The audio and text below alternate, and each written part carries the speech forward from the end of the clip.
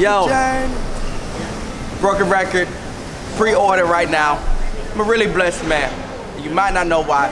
One of the reasons I'm so blessed because I'm a giver. So I'm gonna give some stuff away, man. The stuff that helped me in my creative process for Broken Record as I'm touring and as I'm in the studio. You ready for this? Let's go. You won't let me go. You keep holding me. When I'm ready to give, Lord, you won't let me go. So we're gonna get some stuff away. Stuff like, I don't know, man. iPhone that I used to do voice memos on. MacBook that I used to type my messages and music on. AirPods that I used to listen to my music off my iPhone. That's what we're giving away. Throwback jerseys that I like wearing on stage. Off-white shoes that I like wearing on my feet. Bandanas that I like wearing on my head. We're giving stuff away like David Yurman jewelry that I like wearing on my neck.